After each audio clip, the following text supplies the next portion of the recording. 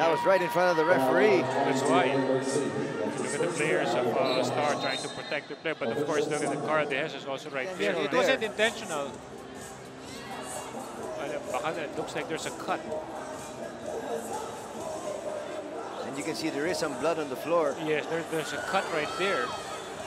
And they need Mark Barroca, and Mark Barroca is one of their top point guards. I think there's a cut, so it could be in the forehead. Could be an, uh, kapanggaan sila dun pag pagpihit eh. Ayun, right there.